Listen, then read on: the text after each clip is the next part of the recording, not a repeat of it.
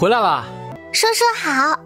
嗯，哼哼，锅里热着水呢，饭菜也有，常是田氏帮着做的。哎，娘子小心！秋哥本来探着头，听到他声音，赶紧蛰伏，不再动了。叔叔是秋哥，他跟我们一起回来的。娘，你回来了。小兔崽子，有能耐别让你师傅去找，死在外面才好呢。嘿嘿，我爹也回来了。娘，我们去村口等爹爹吧。你爹又不是不认得回家的路。田氏嘴上说着，人已经扯上马小麦往坡下去了。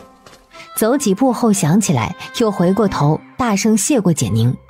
简宁跟四小只说了秋哥的事儿，着重说了他不会伤害人，并且能够飞行。啊，太好了！他在哪儿啊？娘，你快让秋哥出来。